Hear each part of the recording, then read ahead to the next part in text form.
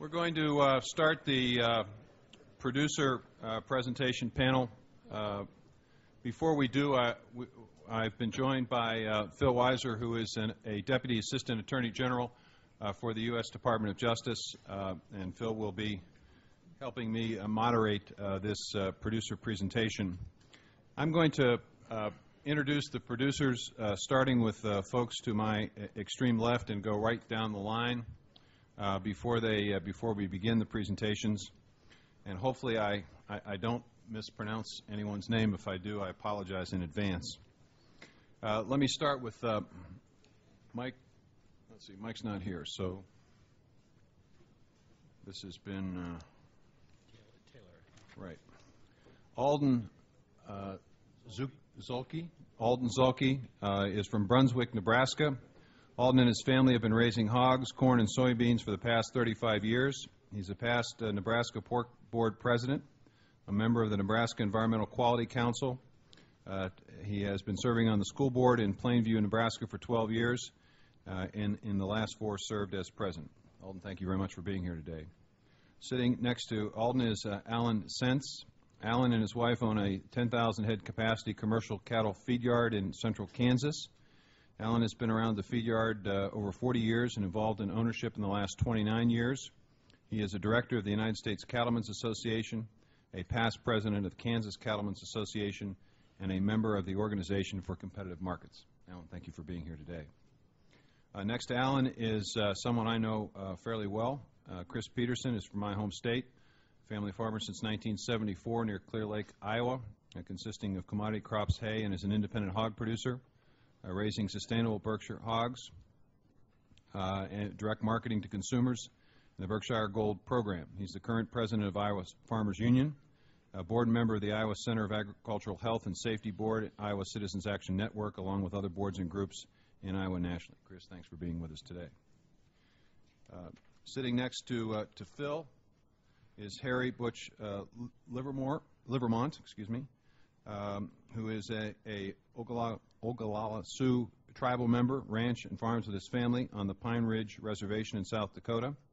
Butch is the chairman uh, of the uh, tribe's livestock and uh, livestock and landowners association on the reservation. He is a director uh, for the local rural electric uh, association, as well as a representative on the state REA board of directors. Uh, Butch, thank you for being here. Robbie Valley, is that did I pronounce that correct? Uh, Robbie uh, is a cow-calf producer from Hotchkiss, Colorado. Has been in the cattle producer all of her life. Her family and her five other ranching families cooperatively own Homestead Meats, which sells meat directly to consumers, retailers, and restaurants. In addition, the six families own a USDA-inspected packing plant where they market their own animals and custom process for numerous other consumers in west central Colorado. Uh, sitting next to Robbie is uh, uh, Dr. Taylor Haynes, who's a cattle rancher from Cheyenne, Wyoming. Uh, Dr. Hay, Hay, Haynes, is, is that? Haynes is involved in multiple beef marketing efforts, both uh, conventional as well as all natural and organic grass-fed beef. Also, like to point out that Dr. Haynes is a urologist. So, if anybody needs a quick checkup later, Thank you.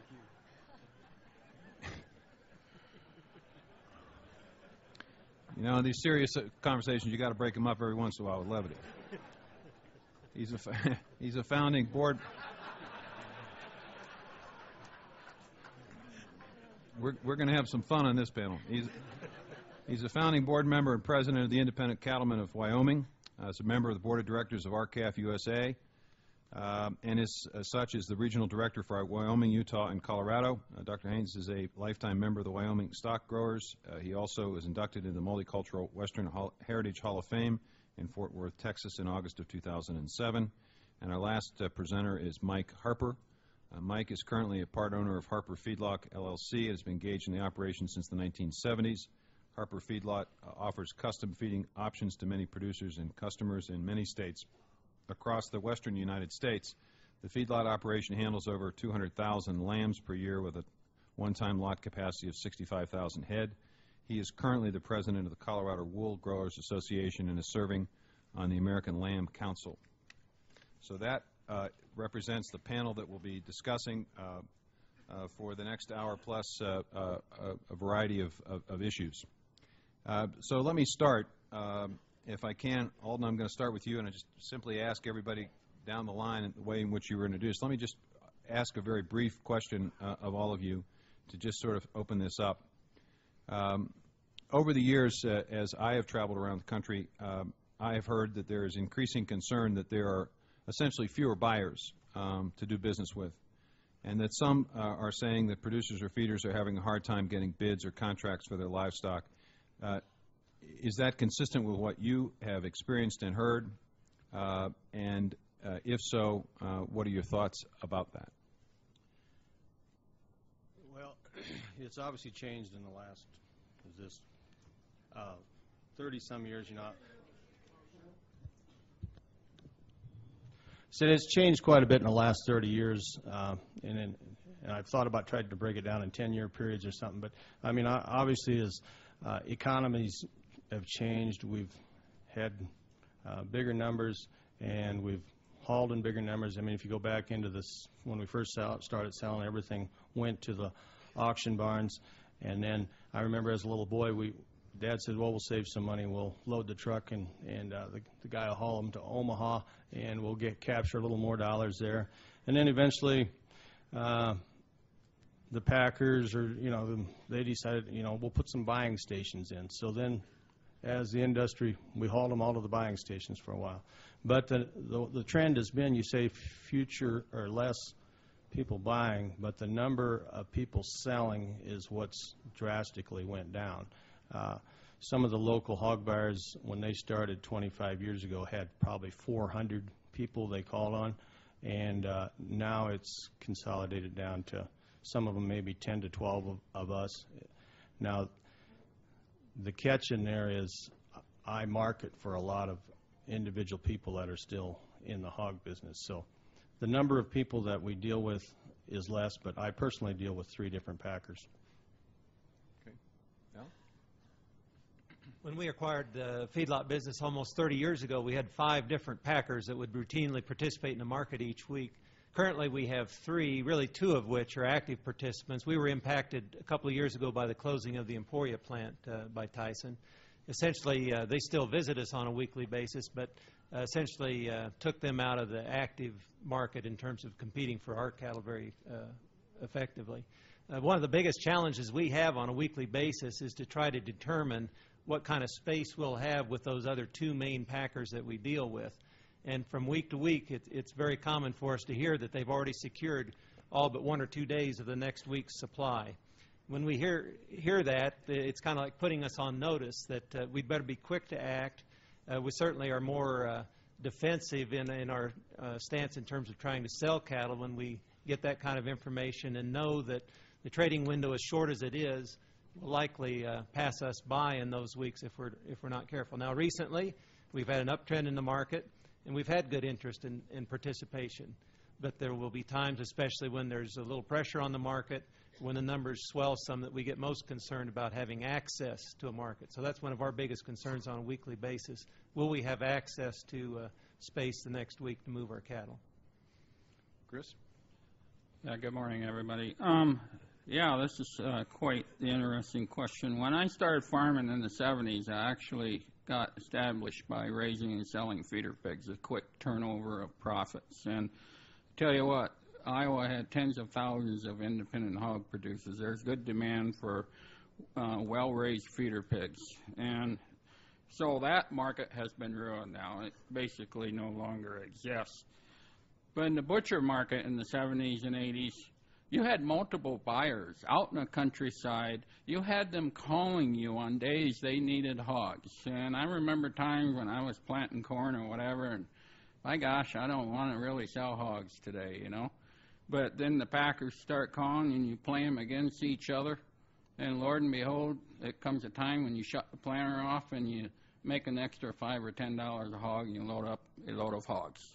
And I tell you what, one thing we've been trying to do for years that I stand for, if we want to start to solve this problem, ban the packers from owning livestock, period.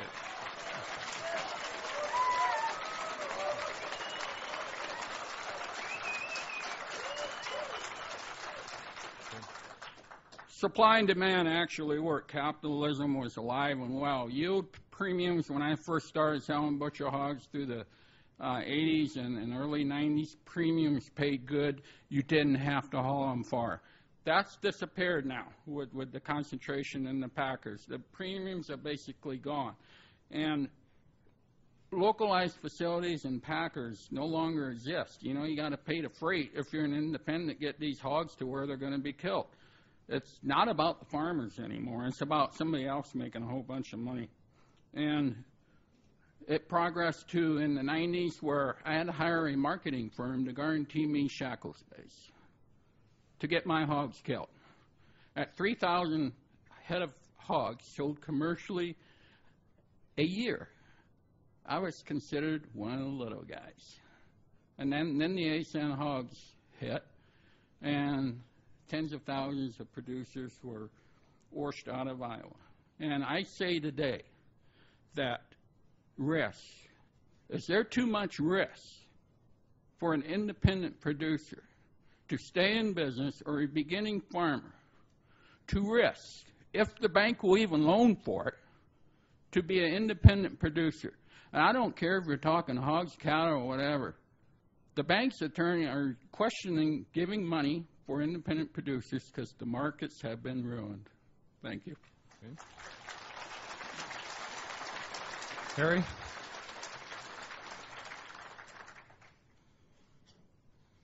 Butch? Good morning, everybody. Um, We in uh, uh, western South Dakota, we uh, take uh, quite a few of our calves off the cows and sell them, and then we background a few and, uh, and then take them, take them in, we sell ours in Philip, South Dakota. And we don't seem to have a lot of trouble getting rid of our calves in that country. Seems like a lot of people from all over come and look for them. But we do have problems with cow buyers. I'm, I'm thinking we probably get two buyers in Philip to, to come and buy cows. I've talked to several of my friends there in Philip and try and talk them into being there around there all the time to maybe get into the cow buying deal. And they said there ain't no way to get there ain't no way to get into it because it's it's uh, pretty well taken care of by one or two people that buy for several different places, and that's how it is. But uh, and the calves seem to be uh, going to be uh, worth a little more this fall, but uh, uh, still not sure whether it's going to be enough to pay the expenses. But uh, we just uh, keep a plugging in there and just hope we can figure out uh, how to make it work. That's all I got. Thank you. Okay, Butch, thank you.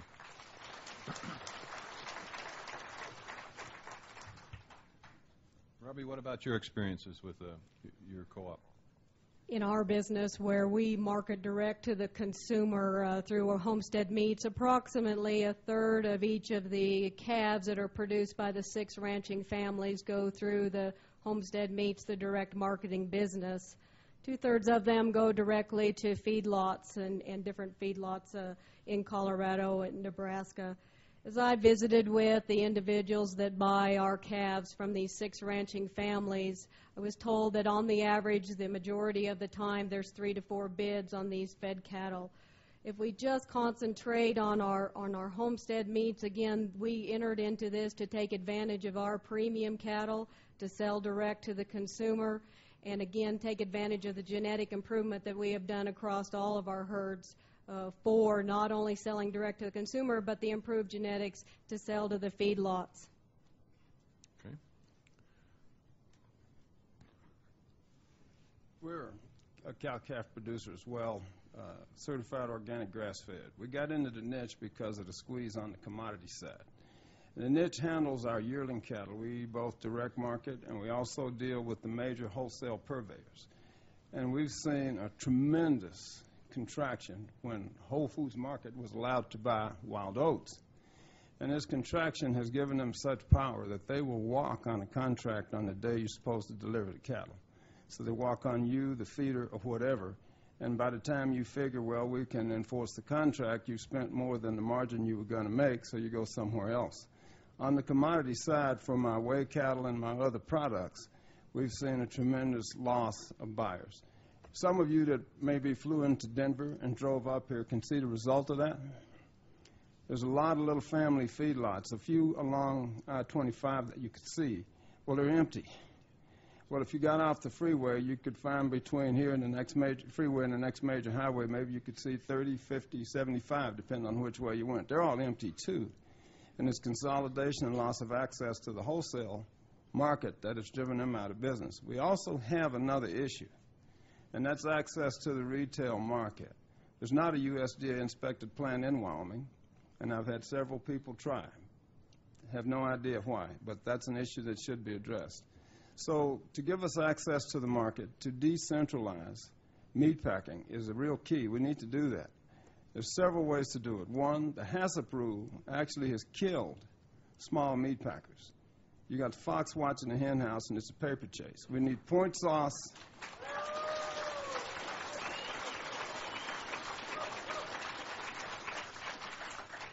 You need point source interdiction and discovery, and you need to enforce the food safety rule where the contamination occurs, which is largely on the kill floor.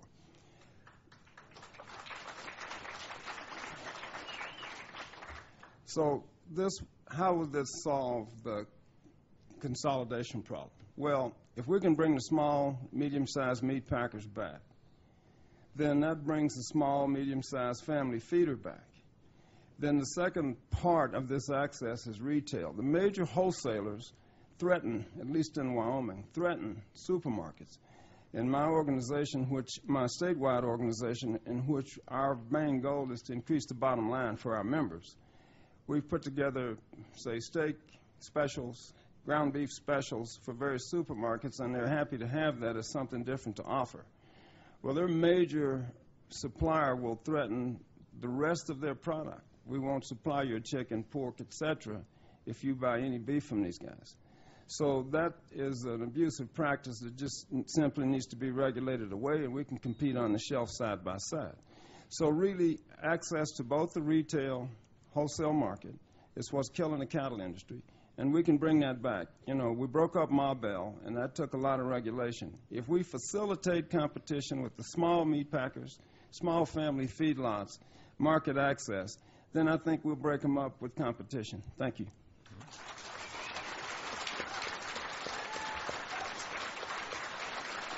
Mike?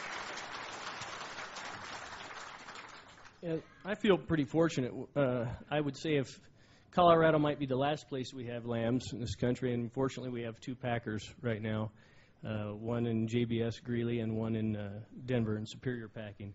So I have had an access to those markets pretty regular. We have contracts with both of those entities and supply them with lambs year round. Uh, up until the last, oh, I guess it's been about uh, six months now. I have never seen so much demand for lamb, and we are extremely short of supply. And I could sell lambs all over the country if I if if there's somebody calling. I mean, we'd have that opportunity, but I don't have the numbers. Worst thing we have right now is a lack of numbers, and uh, we've got to figure out somehow to build numbers back. And try to in, try to increase uh, interest in young people and get things rolling again. Cool. So I, I want to first say, on behalf of the Justice Department, how glad we are to have a partner in Secretary Vilsack. The leadership you have given and focus on this issue has made this partnership possible. Second, for those who aren't going to be able to speak publicly for uh, any fears of intimidation, harassment, or concerns, I want to acknowledge two people. Uh, Bill Stallings, who is uh, going to be up here shortly to listen to folks um, is a, a, leader in our agriculture section, and Norm Familant, who's also up here, uh, a, a, leader, an agriculture economist.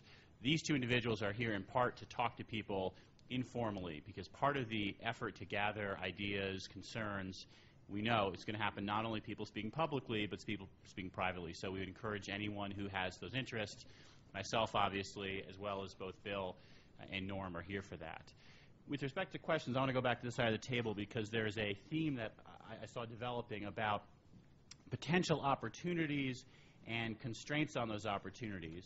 Um, one thing that uh, I think Taylor mentioned, which is important, is uh, the concerns about the impact of the Wild Oats Whole Foods merger and on the retail side. I want to start by talking a little about the retail side here. Uh, in particular, if you have concerns about mergers after they've happened, that's also information that's very valuable to share uh, and, and feeds into this project. So any of you who have seen a merger and then have felt the effects afterwards, I'd encourage you to share that information as well so that there's an ability of the antitrust enforcement authorities to evaluate what happened after the fact. That can be as or more important sometimes um, because it enables us to do better the next time and, and potentially even address it. So I, I want to focus on that issue. Um, have you guys felt on the retail side any of the changes? Uh, you spoke generally and, specifically in that merger, Taylor. I'll start with you. Can you explain just a little bit about, a little more detail about exactly how you see that? Is it, is it merely on this, you know, they will walk away from contracts, or does it go further than that as well? goes further than that. It goes farther than that in our area because uh, Whole Foods was a is a major purveyor, and so they're also a major buyer. And what they've gone to is they buy a little local, and then they import quite a lot from Uruguay.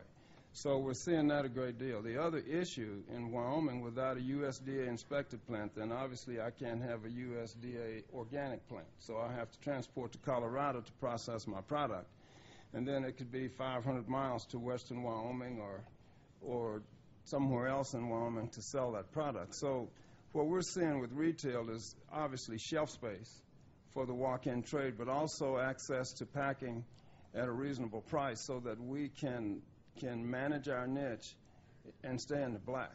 It's it's quite a trick. So I think mergers have to be considered very, very carefully up front, and we all protested. However, there's enough, I suppose there were enough small organic retailers, but you see they're nationwide. They're in California, maybe in Phoenix, but that doesn't help in any particular region where you got a major player that's dominant.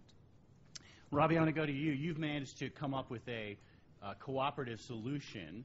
Um, do you think the model you've been able to do will work elsewhere, say in Wyoming or other places where people are, are feeling squeezed? Well, I'm thinking that we'll be glad to process your animals.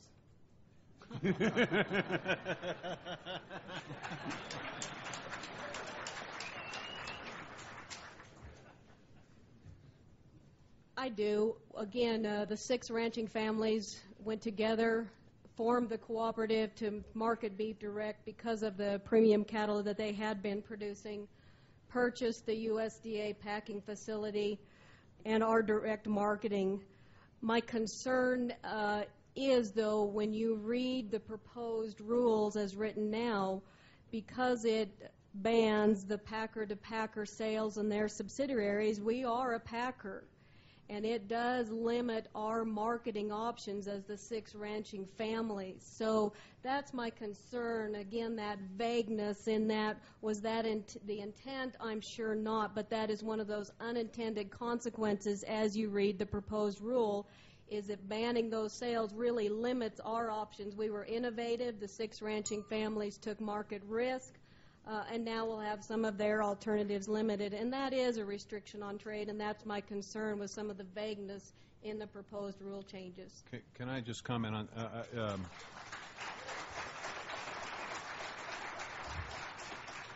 I'm not going to comment on the substance of what Robbie said because it wouldn't be appropriate uh, since the comment period is still open on those rules.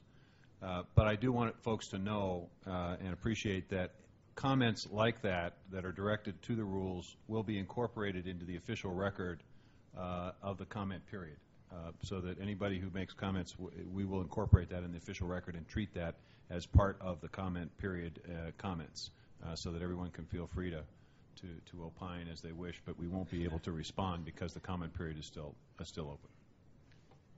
I want to jump back.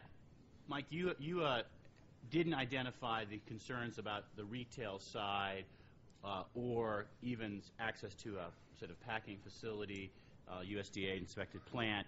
Um, are, are those concerns at all for you? Could you see those becoming concerns? Maybe you could elaborate a little bit, because obviously you're in a, a segment that right now you have uh, the benefit of a lot of demand for your product. But are those things you're thinking about?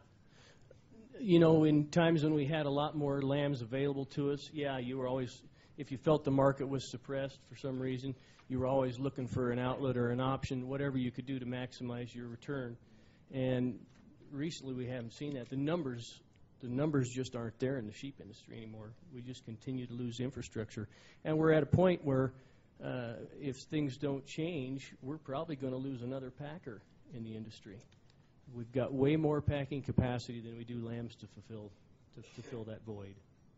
So it's hard to look to, to retail when you, when you haven't got the, the, the volume of lambs to, to, to build a market.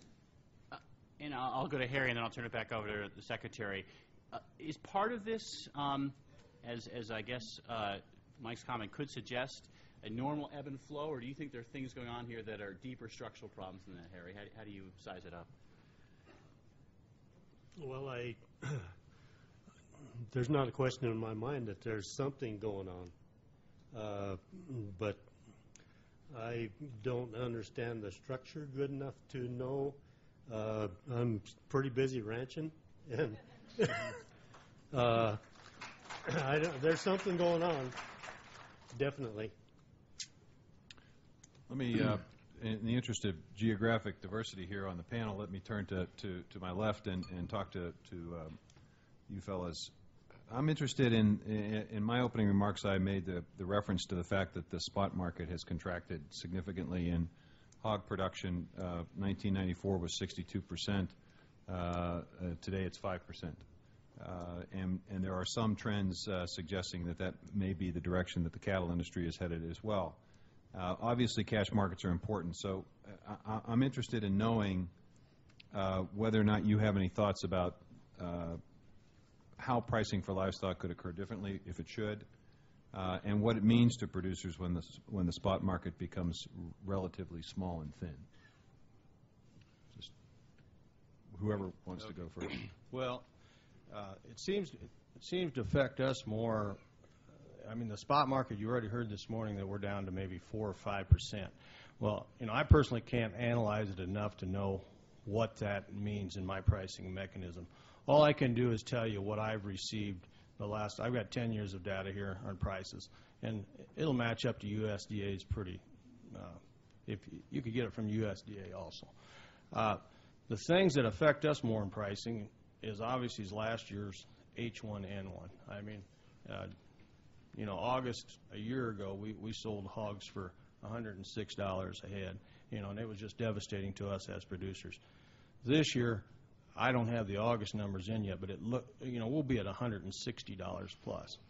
Now, so I, I can't find a correlation of what you're talking, you know, that, yeah, there's not a lot of them on the spot market, but why did we go up sixty-some dollars a head in one year's time? And I can find different periods of, uh, things that have affected the hog market that didn't have any, con- we didn't have any control of. A few years ago, there was a poultry ban w- with Russia, and that came back to affect us directly.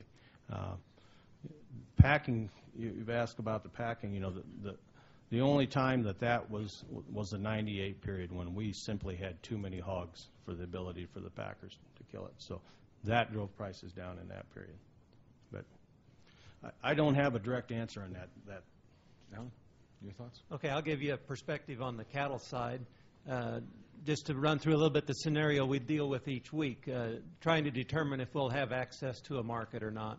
And then the way that sways our decision. Early in the week, we try to find, to get a feel for the capacity of the packer to, to procure cattle for the next week, from our facility especially. Often, I've got one of the main buyers we use that says that if we wait for the trade to develop, uh, he's going to be the last guy they call because he's represents an area further away from the plant. So already we know we're a little bit behind the, the rest of the pack in that regard. So as we go, uh, one of the decisions we have to make then early on is we can have access to a captive supply type arrangement of some kind.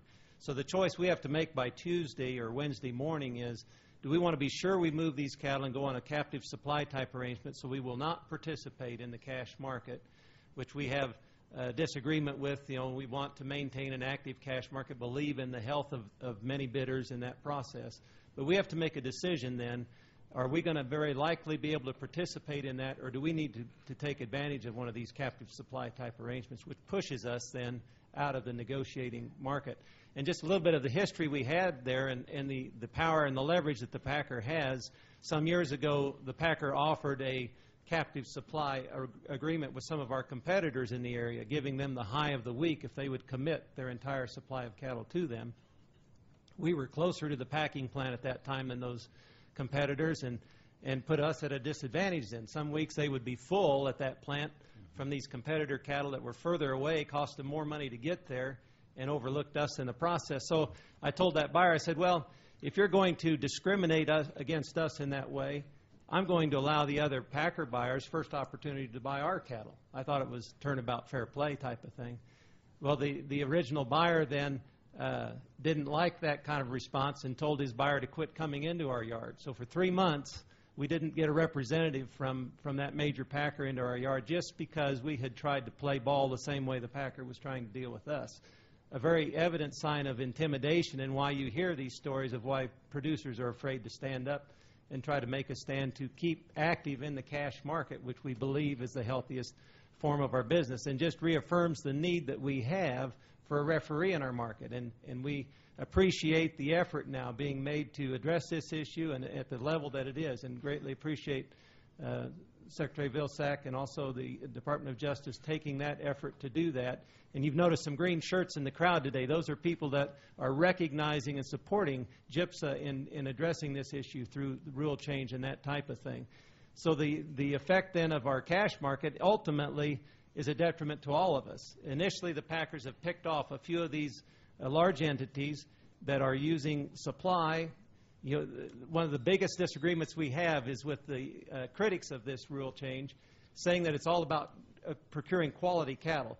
That has nothing to do with it. The largest supply agreements have had everything to do with supply and controlling that inventory and nothing to do with quality cattle, and that's been shown by numerous studies and examples.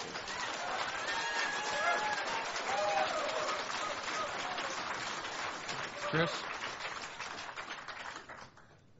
Yeah, I'd like to go back a few years to the ASAN hogs, and when that happened, the packers and others in the industry figured out they had enough control to force prices down, and so they flooded the market with hogs, and the result was tens of thousands of independent producers being purged out of business or going into bankruptcy or committing suicide, whatever. They were exited out of agriculture.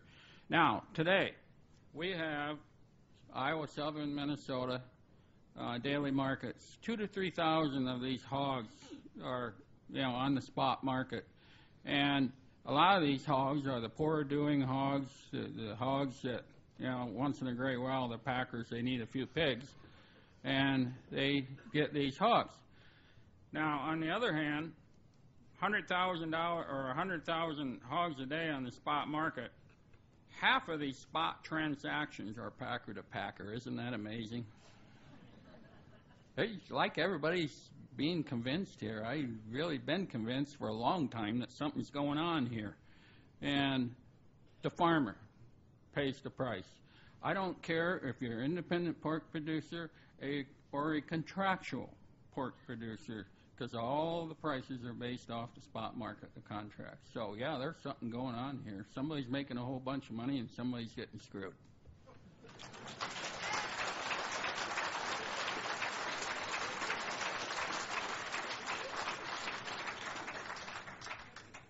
I'm interested uh, in the, in the panel's uh, discussion, uh, the, your thoughts about, uh, when we talk about a spot market, is there uh, a percentage, is there a, a, an amount uh, uh, that, that you feel would be a more accurate reflection or a more appropriate reflection, number one? And number two, what can we do in the, in the interest of transparency to provide more information so that whatever decisions producers are making are, are, make, are, are being made on the best available information and the most comprehensive uh, information.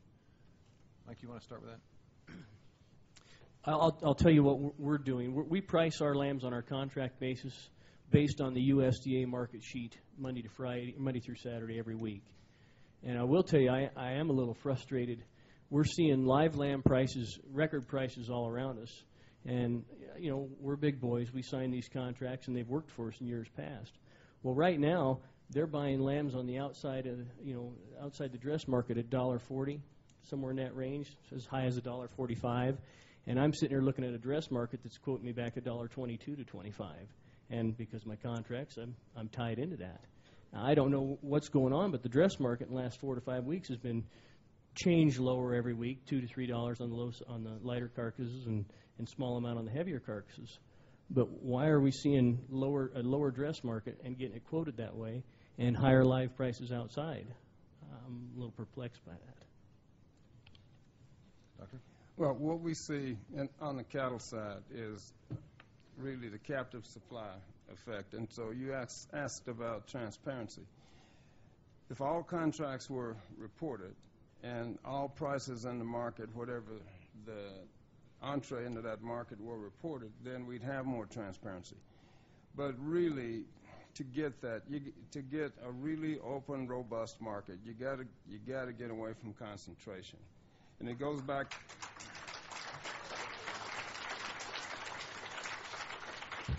goes back to your, your question, previous question about pricing.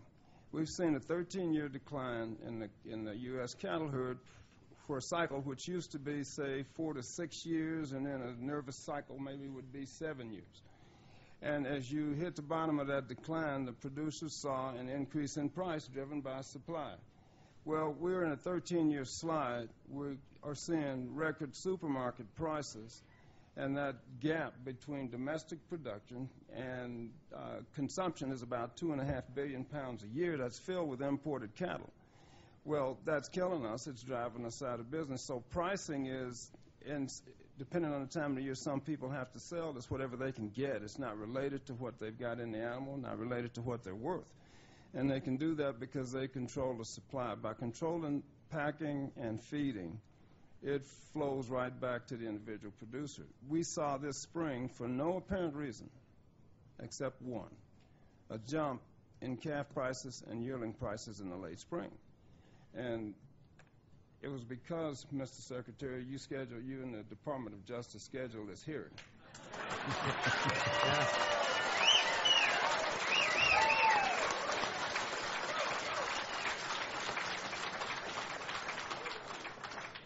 not not being clairvoyant and being Christian, I don't I don't ever tell you what someone else's motive is.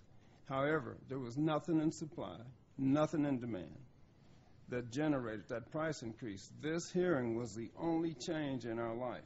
And so I'm sure that's why the prices went up. So really it goes back to simply somehow getting rid of concentration at all levels, facilitating small independent producers at all levels. That's the cow-calf, lamb producer, hog producer, and the medium and small packing plants. That'll bring the feeders back. It'll make the food supply safer because right now it wouldn't take much to contaminate just about the whole meat supply, or 88% of it.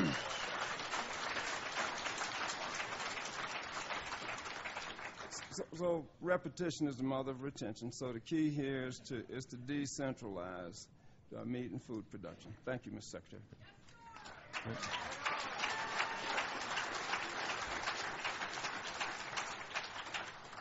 Robert, you have any comments about transparency or the spot market, given the nature of your operation? Certainly, when we look at, there's been an incredible body of, of study that has been done regarding this. Uh, some of it being done by professors here at Colorado State University, and some you will hear from later. Not only uh, 10 years ago, but recently with the RTI study. If we look at the AMAs, the alternative marking, it has added $6 per head across the board to the contracts. When you look at all of the information that is currently available on the internet regarding the grids, the superior sales that happen every week, every month, all of the internet sales, all of the information that's out there. There is a considerable body of evi- i- information already out there. Now, what is needed when we talk about is just what Mr. Harper alluded to. That information, some of those discrepancies, but certainly not getting into the business of private contracts that are entered into between willing seller and willing buyer and posting those for all to see. That is not is what is needed. Thank you.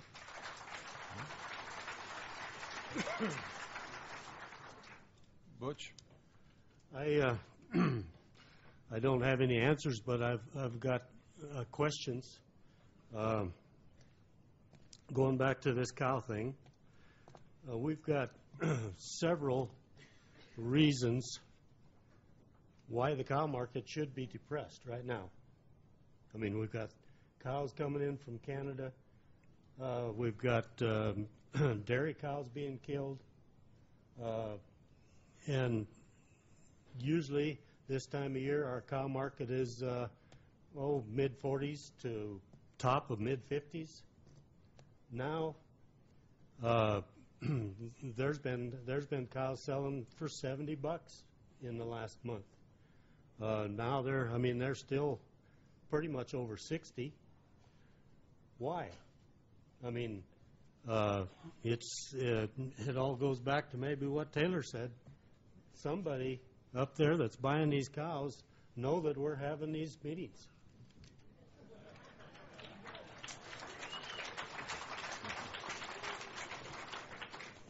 I want to pick up on a point that Robbie referred to and was referred to in the first panel, and then coupled with another question, which is one is how is technology and the use of uh, broadband where it's available uh, changing the marketing and selling of uh, cattle and other livestock? And um, secondly, what uh, advice would you offer to a young person looking to become a uh, cattle farmer or a rancher? Um, maybe just uh, start at the other end of the table, um, both technology and advice to uh, young uh, ranchers.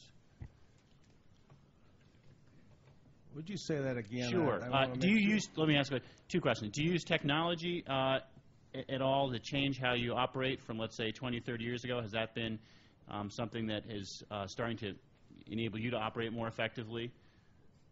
Okay. Well, I'm right in the middle of, uh, my three oldest boys are uh, 26, 23, and 20, and they're all becoming uh, actively involved in the farming operation. And hands down, th- their ability to use technology, you know, I have a hard time keeping up with it. Uh, yeah, we, we do some farming on the side, you know, and their ability to use the GPS and, and those things are, are phenomenal. Uh, Did you want other specifics? or- Does it affect how you sell at all, by the way? Uh, some people, have, I think, mentioned that they're actually able to use um, either value and price information or even selling directly uh, over the internet. Is that, seen, you seen that at all? If anything, that's my expertise. That's one thing I have over those three boys yet. And uh, yes, I use the internet every morning. I tend to start looking at the markets. Obviously, we trade world markets, you know, just constantly. And uh, you can become totally absorbed with it, with technology today. Uh, everybody knows that the grain, everything trades. But I can get up at five o'clock in the morning, and, and and you're starting gathering information then already. Uh, so no, it's it's constant. I mean, I I probably spend two to three hours a day analyzing whether it's the grain market or uh, you know the flow of the hogs, or who, where the demand is. Uh, No, I use it extensively. Well, certainly, uh, technology has, I think, led to this narrow trading window that we have in the cattle market, especially. Each week, we may have uh, just as short as 10 minutes to an hour to trade our cattle.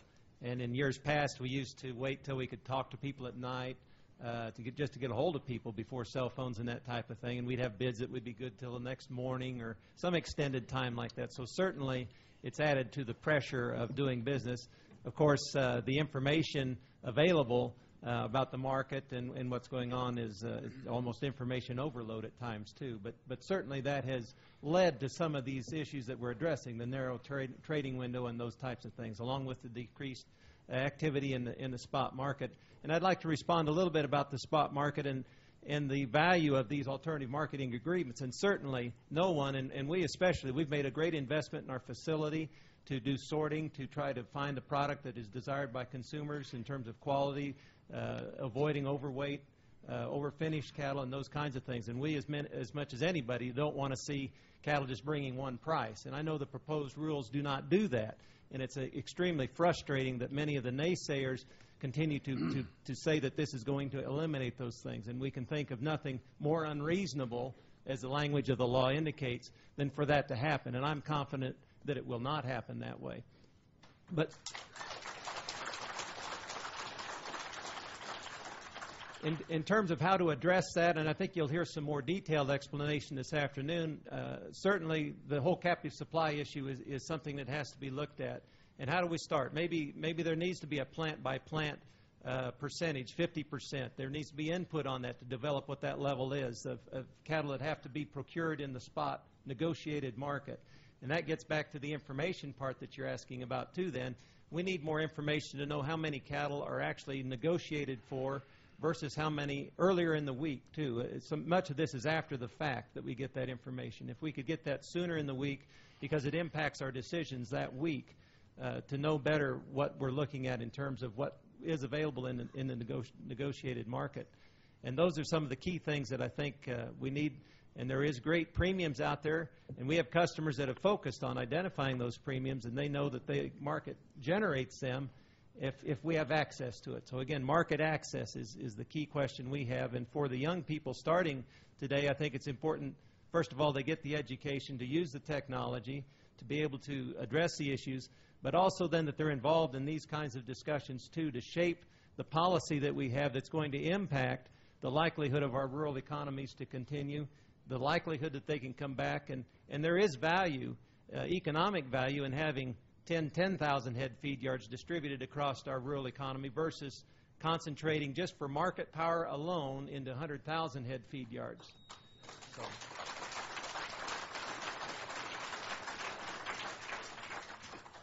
Yeah, I uh, access technology on a, on a daily basis. Um, you know, I'm proud to say I sell a lot of stuff, uh, you know, through the internet, um, word of mouth, whatever. I sell local first, take care of my customers, and then I sell into Berkshire Gold.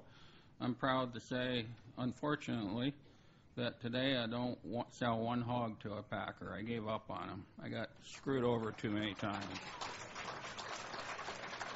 And technology, yes. Again, I use it, but I'm busy farming and, you know, a couple off-farm jobs or whatever. And I guess my response is, you can't depend on it, and it's not the answer to correct the problem here. We all know what the problems are. Every farmer and rancher sitting out in the audience. I just want to bring up one more thing. Oh, technology evidently has been very successful for the Packers. I think we all realize that. Um, one other thing I want to bring up, a good friend of mine, John Crabtree of the Center of Rural Affairs, him and I have known each other for years, done a lot of work together. Um, there's some rural making going on, and here's what's going on. The, the packers routinely pay five to six cents more per pound or more in volume-based premiums to the largest hog producers simply because they are large.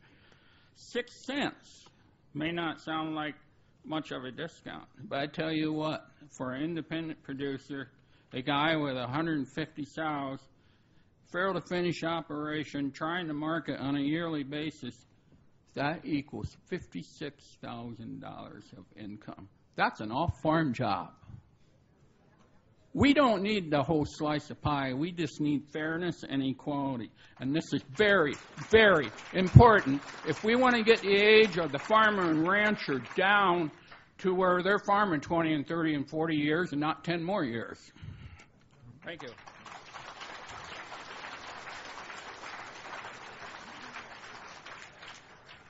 I- I'm interested in this, uh, this issue of, of access. Uh, You you all have mentioned it uh, at one time or another in, in your comments, either um, having concerns about it or, or being able to, uh, to meet, to to meet the needs. Tell me a little bit about what you think USDA ought to be doing with its rural development programs to, uh, to address this issue. Or what could we do if, uh, in, in terms of creating more opportunities for, uh, for more markets? And, and how could we do it in a way that would be, uh, th- that would uh, allow someone to make a decent living by operating one of these facilities?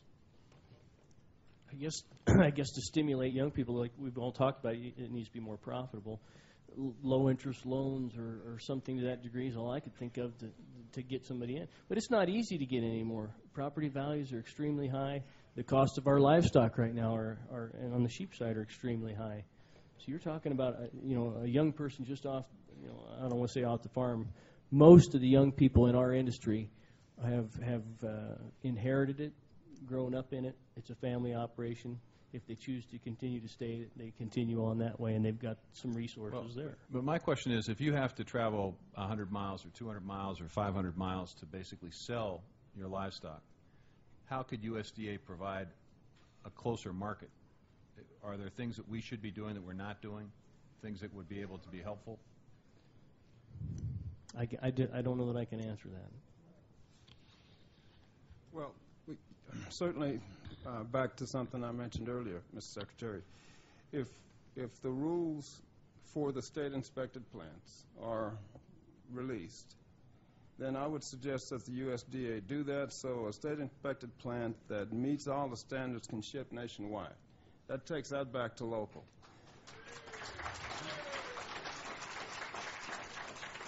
Then you could take your present cadre of USDA inspectors without having to hire more and let them randomly inspect to be sure these needs are met. See, the states would have to maintain the standards, but you can randomly inspect to be sure that's being done with your present cadre of USDA inspectors, and that would free up local trade. That's not an overnight thing, but the small packing plants coming back will bring the small feeders back, will bring meat production and sales down to a local level. You mentioned technology earlier. earlier. The video has actually exacerbated concentration because they can get more cattle in one shot. And the fact that you maybe get a nickel more or a nickel less, the problem is you're not dictating the price based on what it costs you to produce the animal. The only way to do that is direct retail sales. And the only way, really, for most of the people in this room, whatever their product is, to have local retail sales or at least regional retail sales is local and regional packing plants that cater to the small and medium sized producer. We still have to solve the shelf space problem, but I think we can do that in a cooperative way. I think we can do that by having our individual states regulate fair trade and, and monopolistic activity. So I don't think USDA has to do everything. But I think to to allow us at least the infrastructure, which is what I consider me as a producer and the meat packer and the small family feeder is really the infrastructure in, in supplying red meat and, and fiber to the nation. So the USDA has a role in that. The retail part of that, the supermarket part of that, I think that goes back to the states. And we should, as producers and taxpayers and voters, we should be able to deal with that on a local level. Robbie, you, you- you basically can, uh, tell us a little bit about the economics of this, but what, what would it take, uh, if you were starting from scratch, to do what you, to replicate what you're now doing with your operation? What would it take? How could, how could a, a USDA be helpful, uh, apart from uh, inspection issues that, that were raised, from a financial perspective? Again, uh, when we uh, purchased the plant, there, it took significant upgrades to uh, make it so that it was, uh, that it did pass all of the USDA inspections. And we are, we will average two to sometimes even as many as four, but the majority of the time, there's two inspectors in there full-time. Uh, We welcome that, we use that as a marketing uh, tool to show that uh, there is, there is that oversight for not only the food safety, but uh, for marketing in general, we use that. One thing that, uh, in, if we talk about rural development, and we talk about what can be done for the, the young people, there are, we, we have received uh, value-based uh, marketing to uh, expand our market into ready-to-eat entrees, and we did receive a, a USDA Rural Development grant to do that. But that limitation on rural development where you cannot uh, build infrastructure, purchase equipment under uh, rural development really hinders. You can study something till you're blue in the face, but if you can't implement uh, the results of your study, meaning you can't purchase that $30,000 piece of equipment without a significant uh, rigmarole, uh, that's where if there was a, a lower base there that would be easier to work with, that would truly help uh, from the rural development side. Now, there are programs where you can purchase equipment. I certainly understand that. We've looked into that over and over. But is that onerous regulation? Again, we cannot overregulate the marketplace that really causes us trouble when we try to implement some of our uh, development grants. Let, let me be clear about this in terms of regulations. Are you talking about the application process? Or are you talking about some restriction in terms of geography? It, we're talking about the restriction on what you can use those dollars for. So flexibility in terms of the dollars. Correct. Okay. Any other panelists want to weigh in on that? Well, certainly, uh, you know, the programs that provide low-interest loans for beginning farmers and, and ranchers, I think, are, are, you know, serve a good purpose that way to encourage that type of thing. And, and the whole issue on the, uh, uh, to address uh, the efficiency that is needed to operate some of these different packing plants and that type of thing, you know, just continued, continued research in some of those areas that uh, uh, might uh, benefit smaller operations to succeed economically. But I think also just enforcing the laws that we have will do much to keep a diversified, efficient operation size. And, and the GIPSA is attempting to do that now. You know, another area that's going to have to be addressed is, is this, this whole market power thing just gets passed down the chain. We have to have it addressed at the retail level to address what the packers, you know, face in their operations, which is passed down to us then, and, and somehow get a handle on, on this distinction between market power, size for that, versus the economy of size efficiencies. And we've, we've just shifted and went beyond efficiencies to just accumulating market power.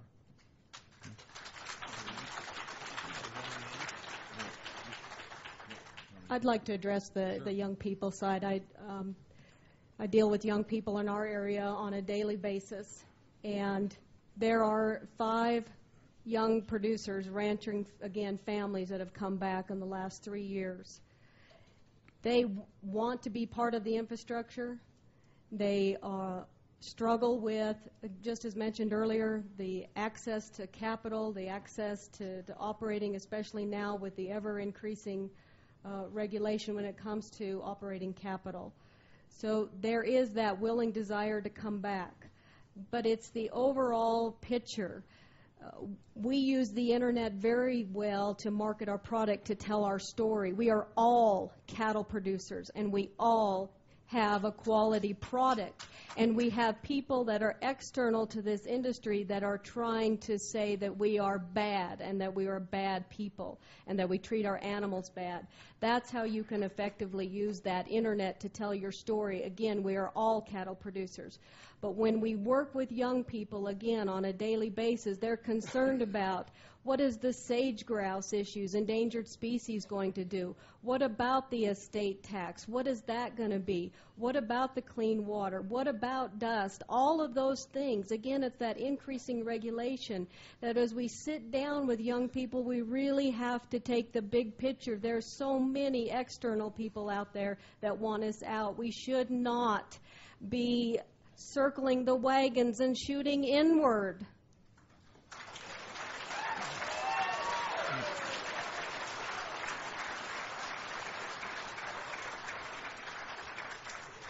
Mr. Secretary, that brings up a good point. That if I could mention one thing, we've got uh, recently there was a decision made on the Payette National Forest in Idaho. We're going to lose potentially five ranching families in the sheep business. Uh, one of the largest producers in the United States is, is greatly affected. And uh, you know, you talk about encouraging and trying to get people to stay. And there's his younger brother's got three young children and he's excited about the business. And now he's been kicked off the Payette Forest because of the bighorns. And there's been, I think the Carlson family is one family up in that area that's been there since 1928, and they've lived there with bighorns the entire time. And there's still been no significant proof that disease is communicated back and forth between domestic sheep and bighorn sheep. But the easy, quick fix is to just oust the rancher and off he goes. And it affects it affects my market because we buy lambs from them and we, we feed them and we, we provide that product to the public. Yeah, I, uh, as far as uh, rural development, you know, there's been a lot of money invested in rural America, and I'm sure that will continue. But we need to invest in our main streets and infrastructure that quite frankly, in this day and age, promotes and forces more localized agriculture. Okay, the state of Iowa invested in Sioux-Preme Pack in northwest Iowa. Uh, that's where some of the Niman Ranch hogs go, and that's where the, some of the Berkshire Gold hogs go. It's providing a service to small independent producers. And, you know, the last thing I want to see is, in backing up a minute, we need to evaluate who's going to benefit first from rural development funds. You know, I see a lot of bad things going on. I see some bad, good things going on. The last thing I want to see is guaranteed loans put out there by the feds and the taxpayers to to back up vertically integrated packing facilities. Alden, do you have a point? Yeah, again, I'm just speaking from experience. My second son is actually using uh, EQIP funding, and that's been a very, uh, the oldest son used it also, and- and I've used it in the past. That's been very good for us. Uh, He's also, the second one's also looking into uh, young farmer ownership, you know, and- and and there's obviously a lot of requirements, and he has the ability to do the paperwork to get it done. So we will get it accomplished, but, you know, I I do want to make light of the fact that one thing that the, they are requiring is that he has a three-year contract uh, to sell his hogs, you know, to somebody. So, you know, the contracts are very important for, for these young people. That's the only way the bankers are going to let them secure these loans. Yep. So, a question that has been diverted to, I want to pick up on it, is uh, premium or niche offerings that give people a differentiated product. Um, How significant is that, and and how real is that opportunity? Um, I think a couple people have mentioned it. Um, uh, Taylor, you you mentioned that in your case, and Robbie as well. Why don't you start, and then others? Yeah, That's, niches two tiers for us. Uh, Certified grass-fed organic, obviously retail is where the greatest yield is. And retail, retail can be six, seven-fold over, over what commodity price is. But in my wholesale side, we run about thirty percent, we'll average about thirty percent higher prices than the retail market. But everything that happens on the commodity side for fed cattle affects us because if we don't take a contract, if we don't cut a deal with a major purveyor, then the only place we can go is the commodity side. So they use that against us too. But it all, but it does provide us some margin and some cushion to be certified organic, and it's, there are a fair number of hoops to jump through. So it's a it's not just something you do; it's a way of life and it's a mindset. But it's not hard to do. It's not rocket science at all. For young people, my son, I'm the fourth generation in ag production ag since uh, slavery continuously, and my son is the fifth. And for him, the fact that we're certified organic, and he is an excellent marketer, we do internet sales as well, that really is the thing that allows him to come in and have a future in the business. Robbie?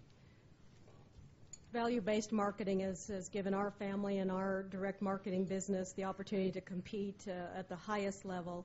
But even before we started Homestead Meats, again, those value-based marketing where we had that uh, relationship with the individual that provided the feedback, that uh, gave us the information to improve the quality of our cattle. And when we improved the quality of our cattle, then we had a significant increase in the choice grade.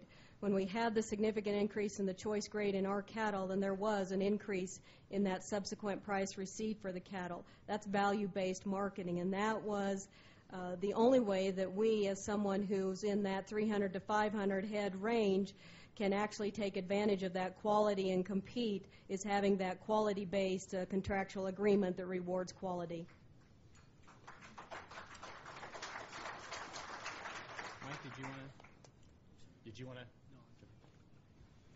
Yeah, I'd, I'd just say we've seen a great benefit. Uh, we are a CAB licensed feed yard, certified Angus beef, and since beginning that about 12 years ago, we've made improvements in our facility, also in training of our people, and also then the quality of cattle that we've handled. And a lot of that's been the information we've provided back to the rancher to make the improvements that have been mentioned. So we've been real active in that process.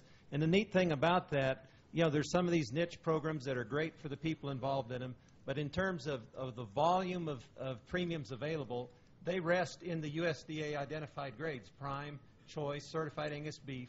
that are available to anybody. Those premiums are determined in an, in an openly negotiated marketplace. It doesn't take specialized deals to get access to those things.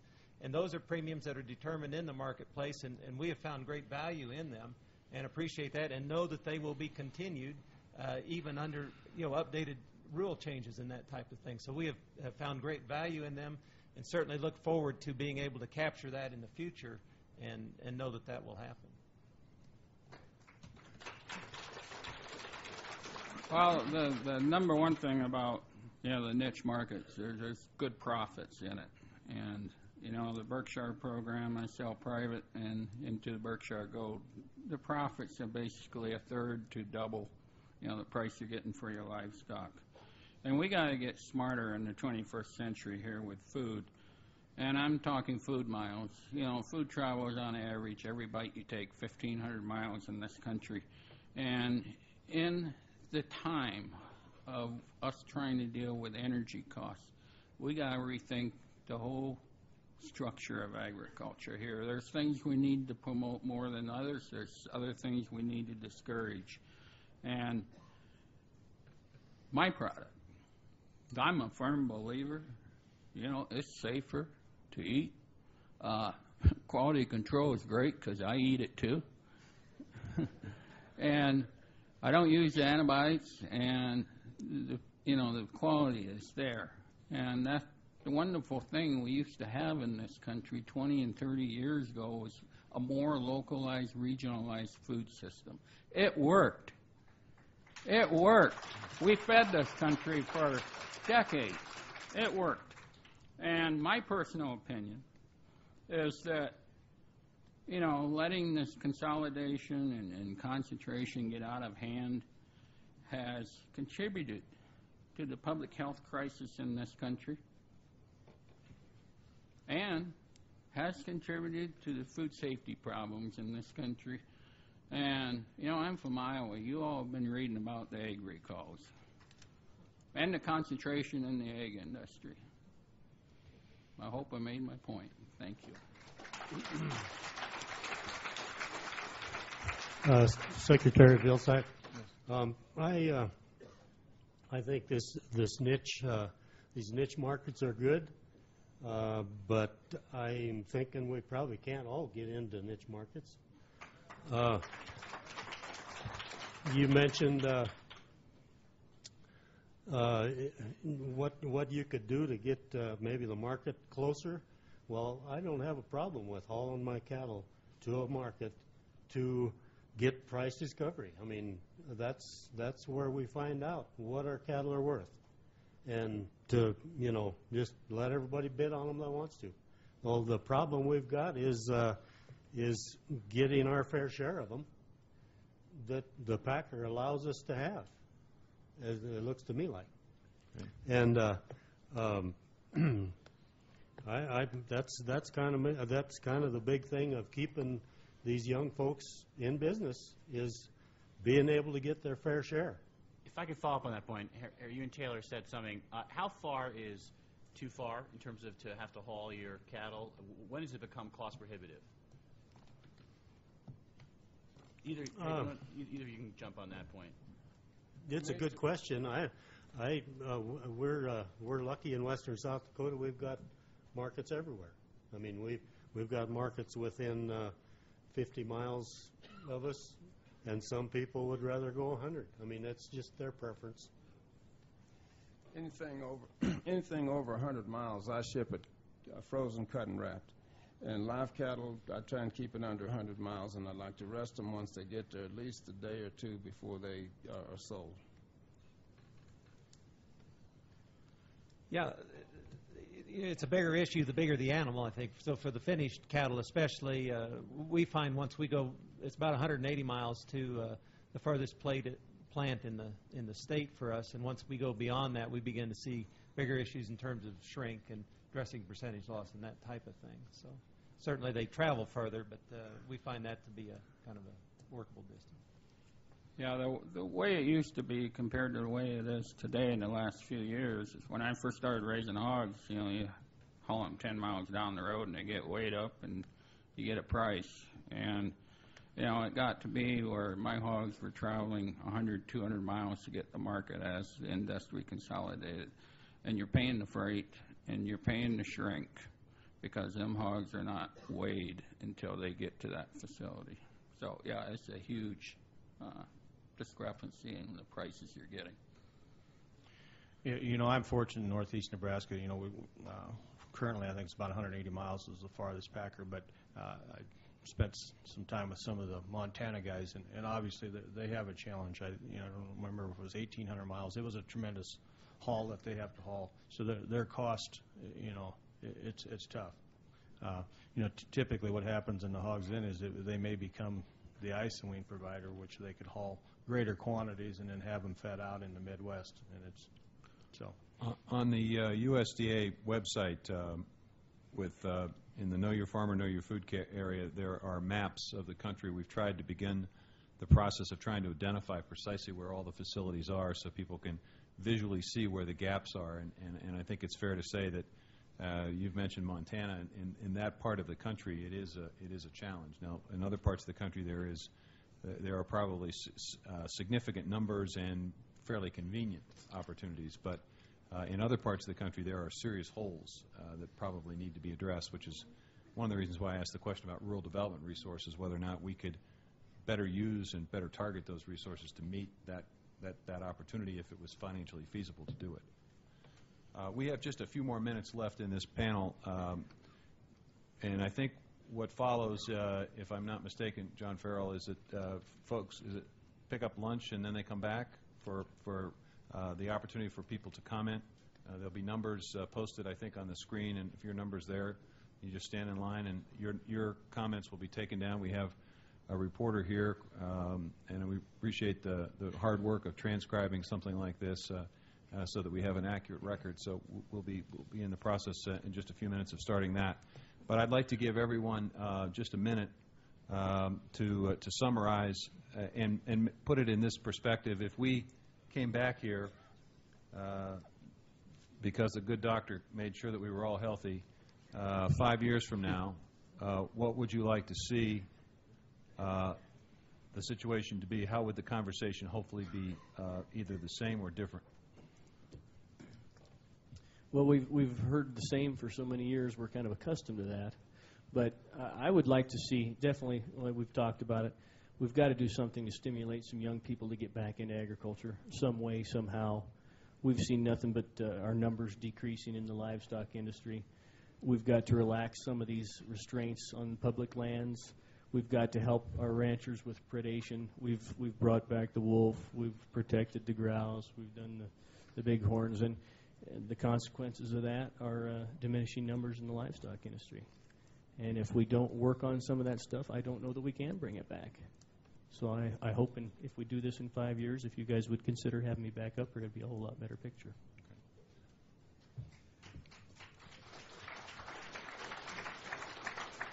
Thank you, Mr. Mr. Secretary. I would like to see the room uh, full. I would like to see the average age in the room be about 40 or 35.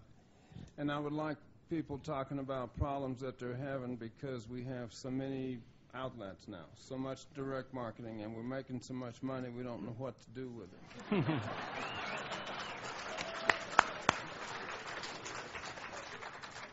And I would, I would, I would like us to, as an agricultural community as a whole, I would like us to be somehow able to communicate to consumer, um, consuming America that we really are the environmentalists, that we really are the people that care for the land and the animals.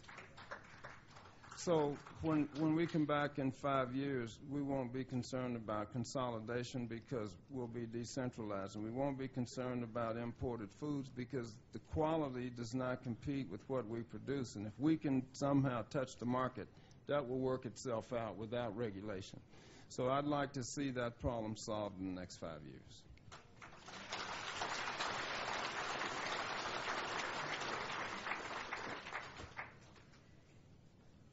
In five years, I would echo that I would like to see the young people here also. But I was reading minutes from an affiliate, a cattle affiliate from 1946.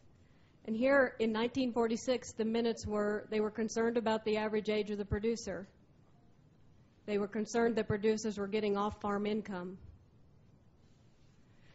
So in five years, what I would really like to see is again that there is that more young people and that we have that true story about the good that we do not only for our animals and for the safe food supply that we provide to the American people, but that message is clearly communicated and understood outside of just our circles. That we really, truly have that connection with those individuals that, that may not understand how we do things and care for animals. But what also, all of the information that's been presented on the first panel and this one has been good.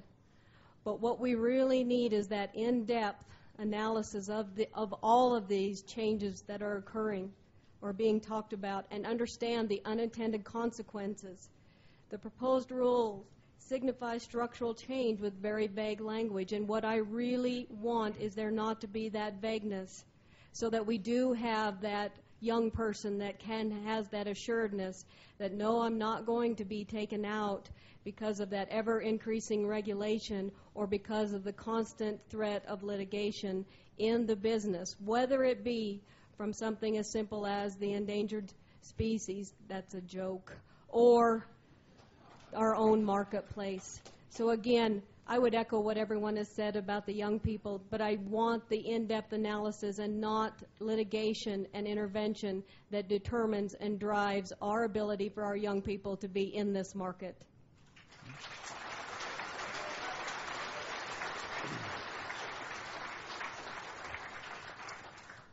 Well, I, uh, along with the fact of uh, wanting to see more younger people here five years from now, and quite a lot younger, uh, just picking out some parts of this, of uh, the speech I thought I was going to give. because the, the cattle industry is the economic backbone for much of Indian country, the federal government must take steps to prevent the concentrated beef packers and the concentrated cattle feeders from engaging in the practices that are eliminating the economic opportunities for individual Indian operators. We must preserve competition, not just in the market between the cattle feeder and the beef packer, but also in the market where Indian operators sell their calves to backgrounders, stockers, and feedlots. Competition is what prevents the beef, packers from controlling the cattle supply chain like they now control the hog supply chain. And, I mean, that's, that's what we're up against. That's, that's where our problem is.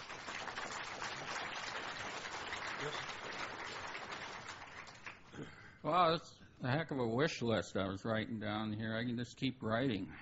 And um, Only got a minute. I only got a minute, the secretary tells me. Um, well, yeah, like I mentioned earlier, I'd, I'd love to see the Packers have to go out in the countryside and bid hogs and cattle and whatever else again. So, you know, ban them from owning the critters. That's that's the first thing. I'd, I'd like to see everybody benefiting out of a restructured system, and I mean everybody, the family farmers, the consumers, and the packers. They always have made money. They just got a little greedy here. Um, I'd like to see the environment benefit. We need a cleaner environment throughout this country. Iowa, unfortunately, is 50 to 50 in water quality. To me, that's an embarrassment for our state. I would like to see rural development working, population stabilizing, beginning farmers wanting to farm. I would like to see the food miles coming down, more localized agriculture. I like to see food safety, uh, better food safety, starting with family farms, again, raising and owning the livestock. And the animal husbandry issues out there. I think every independent producer knows that any independent family farmer takes far better care of them animals than anybody else on this planet. Thank you.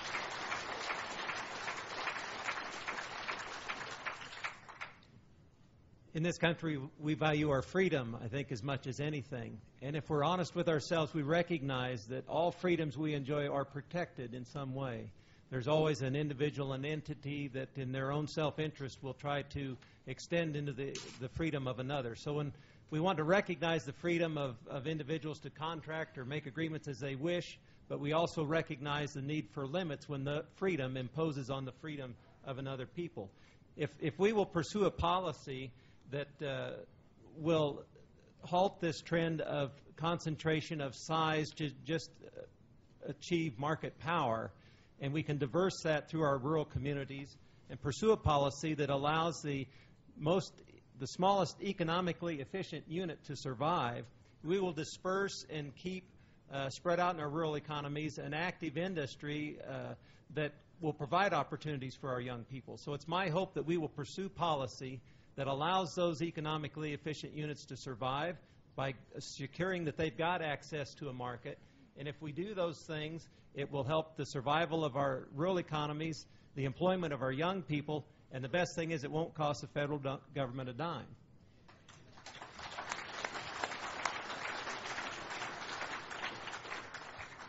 I think it's important that you, you know, try to focus on some of the things we agree on, and hopefully everybody uh, in this room would raise their hand that we're all meat eaters. Uh, you know, that's one of the things. You know, our industry, uh, obviously, worried about packers and concentration and, and the spot market, but what's being forced on us, not only regulations, you know, within the environment, uh, which some of those we do need to deal with, there's no doubt about it. But I mean, the, the groups that are coming at us and telling us we need to raise animals in a certain way is probably a, real concern in, in our organization. But there's one common theme in that- this group, you know, and that is the thing we all want young people back involved. You know, somehow we have to turn the rural around. I have just one little perspective. I think that camera's pretty good, but there's our two youngest kids are actually adopted. I don't know if that shows up on there or not, but but anyway, we adopted them from Haiti, and and uh, so the the underlying freedoms that we still have in this country, you know, are enormous. Uh, that I've spent time down there uh, different times, and the restrictions they have, uh, you know, their their best day, is, you know, is not good. You know, it, it, it's a real challenge. So we- we've got some real positives on here, and hopefully we can all work together and focus on things that will improve and help each one of the industries, and also look at each individual industry because we are we are diverse. You want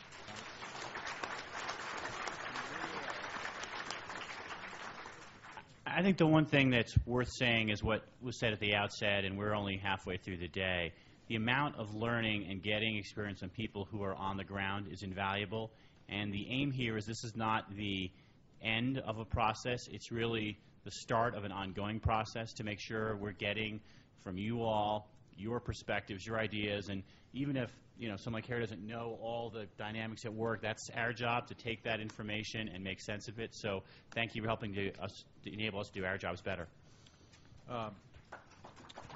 I want to, I want to thank the panel, and I, I want to take, uh, uh, I guess, a personal privilege for just uh, uh, two minutes uh, to speak about what I've heard and, and what I've heard as I've traveled to virtually every state in this country.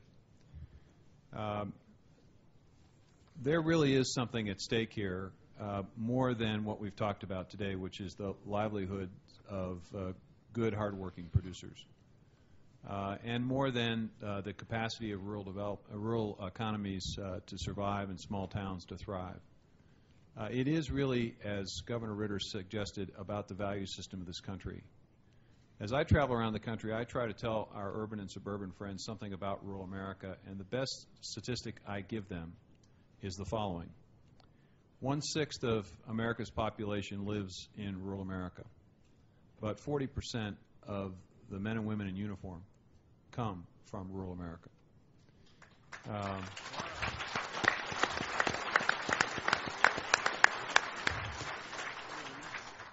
so 40% of those 100,000 troops that are coming back from Iraq probably live in small towns, probably grew up on a ranch or a farm. 40% of those 130,000 young men and women that risked their lives in Afghanistan from those small towns, those farms, and those ranches. Now, why is that? Now, some would suggest that the reason is because they uh, seek opportunity through the military uh, for a better life. And that may be part of it. But I think there's something more at work here, uh, and that is how young people are raised in rural communities across this country. They are raised with a very simple set of values. Hard work is its own reward. You are responsible for your actions. And they also understand something about Mother Nature, which is that you can't keep taking from the land. You have to give something back. You've got to replenish it from time to time. And when you do, Mother Nature will reward you with good and bountiful crops. Country's no different. You can't keep taking from it. Periodically, you have to give something back. These kids understand that because you all have taught them that.